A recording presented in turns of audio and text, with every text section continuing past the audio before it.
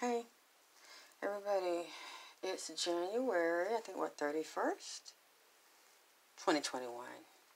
I wanted to show you a lot of people wonder about the food. A lot of people don't, but a few do. And I erased it because I don't have time for dumb shit.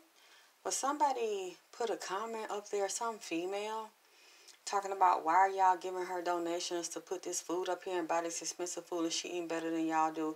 Well, first of all, I wanted to show you I don't eat all the food. When I said it's an ancestor altar, I meant it. It is an ancestor altar. As you can see, this food has been here from when I put the um, Jamaican oxtails for Pop Smoke up a few days ago.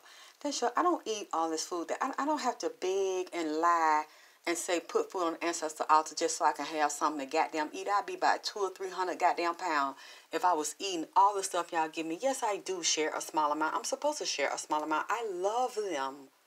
I love them. I honor them and I respect the fact that they come talk to me. I love to commune with them, cook for them and everything. And I don't care what nobody think or feel about it. But what I do care about, I don't want y'all to think that I'm tricking y'all or using y'all. most of my people don't pay for this food anyway. I work and pay for the food. It's only lately that people started to send a few donations here and there. And to be honest with you, to keep it all the way motherfucking funky, the Pop Smoke, I got twenty dollars Somebody sent me $20 to buy Pop Smoke some food, and this costs more than that.